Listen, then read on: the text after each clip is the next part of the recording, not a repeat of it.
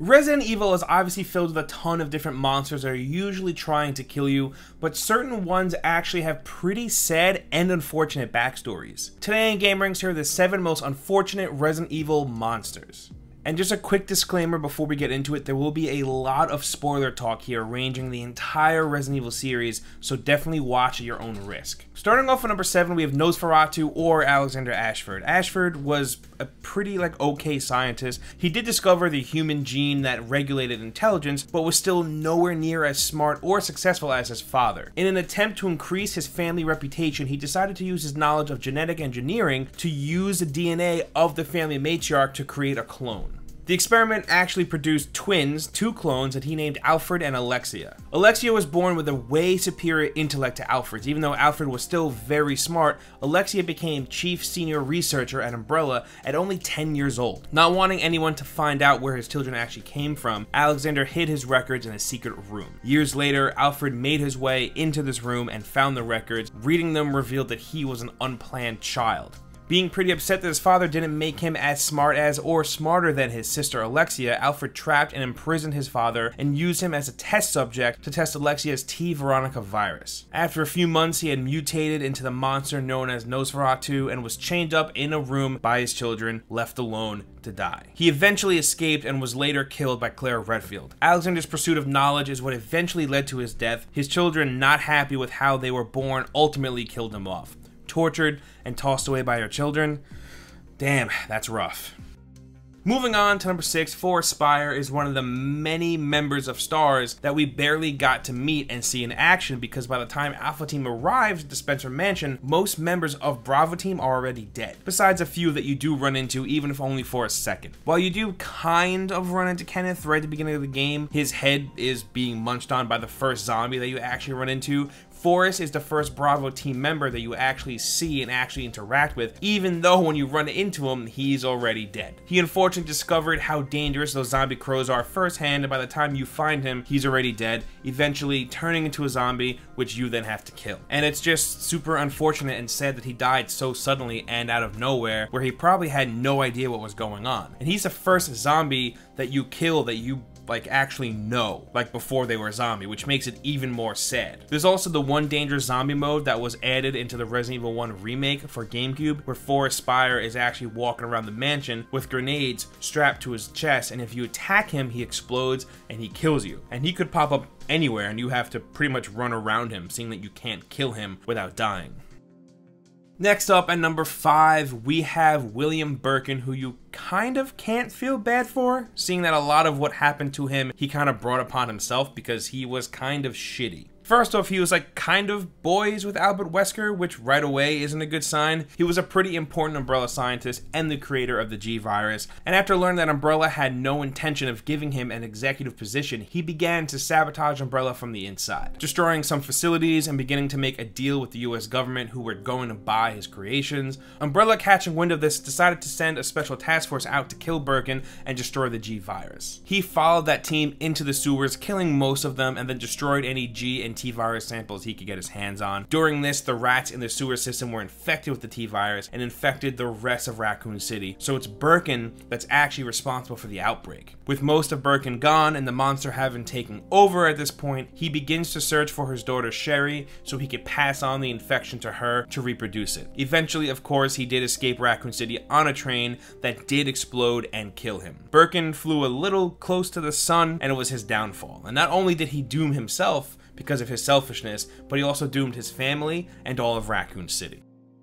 Next up, at number 4, this one is weird only because for the majority of Resident Evil 7, the Bakers are absolutely terrifying and disgusting and gross, and you spend the whole game running from them and fighting them. Only to get to the end of the game to find out that they're actually not bad people at all, and are instead being controlled by Evelyn the entire time, except Lucas, who seems like is just straight up a fucked up bad dude. But yeah, later on in the game, when Ethan is stuck in the mold, he has a vision where Jack Baker is talking to him, and it's here that he tells Ethan that him and his family aren't actually bad, and that they're under the control of Evelyn, and he asks Ethan to free them. It was actually Jack that found Evelyn on the crashed tanker and took her into his home, which led to her taking control of the family because that's really all she wanted was a family. It wasn't until being taken over by her that he started running around, cutting dudes' heads in half with shovels. Even good people can be bad when a scary monster girl girl is mind controlling you. And at number three, this one seems pretty obvious, but like, can we talk about how unfortunate all the zombies in Resident Evil are? I mean, think about it. You're a Raccoon City resident, minding your own business, going about your daily routine, then all of a sudden, boom, the T-virus outbreak hits, and all of a sudden you're a zombie or you're getting eaten by a zombie. The citizens of Raccoon City are the real victims here. Not Claire, not Leon, not Chris, not Jill. No, it's the people that are defenseless and spend their life just munching on dudes now. Honestly, I'm pretty sure just being a zombie in general just doesn't feel all that good. Let's have a moment of silence for all those innocent people that are now literally falling apart and eating other people.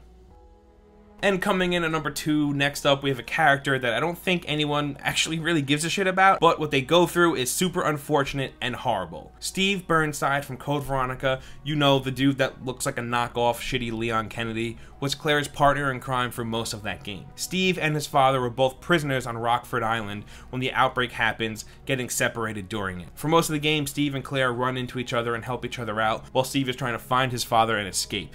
At one point, both Steve and Claire fall off a walkway that causes Claire to be trapped by rubble, and Steve's father, now infected with the T-virus and having turned into a zombie, starts to go after Claire. It's here that Steve, after freezing up for a bit at the sight of his father becoming a zombie, shoots and kills him just as he's about to bite Claire, which you can imagine is pretty hard to do, killing your dad, even if technically your dad is already dead. I'm sure it doesn't make it any easier. Unfortunately, that's not the only tragic thing to happen to Steve. He does have a pretty unfortunate end as well. After both Steve and Claire are captured by Alexia, Steve is injected with the T Veronica virus, which causes him to mutate into a big, grotesque, hulking monster. After trying to kill Claire with his giant axe that he has out of nowhere, she escapes into a prison cell to get away, only to be attacked and grabbed by Alexia's tentacle. It's here that Steve regains his consciousness for just a second and attacks Alexia instead, saving Claire yet again. After being critically wounded, he begins to turn back into his normal self, and right before dying, he tells Claire that he loves her. Steve was just a 17 year old kid that was caught in the middle of this giant mess, and unfortunately, he paid the price for it. And finally, at number one, this one is probably one of the more mess up ones on this list. If you've played the Resident Evil 1 GameCube remake or the HD remake on newer consoles and PC, I'm sure you remember Lisa Trevor. She's that creepy monster that walks around with the shackles that you can find in the cabin outside of the Spencer mansion. In 1967, 31 years before STARS began their investigation into the Arklay Mountains, Lisa was abducted by Umbrella and was used as a test subject for years. Her father, George Trevor, is actually the one responsible for building the Spencer mansion for Oswell E. Spencer. After its completion, George and his family were invited to the mansion to celebrate it. Lisa and her mother Jessica had left for the trip to the mansion early, with George staying behind to work. Upon arriving at the mansion, Spencer had the two of them detained and began using them as test subjects. Eventually, Lisa's mother was killed and Lisa was left on her own. Umbrella had used her as a test subject for 18 years before she began to regain some of her consciousness and became too much of a danger to the staff to keep around. She had become so mutated from all the experiments that the last virus they injected into her was actually killed off because of how toxic her body was. After killing three scientists, it was decided that she had to be killed and disposed of. And after being killed, her body was watched for three days days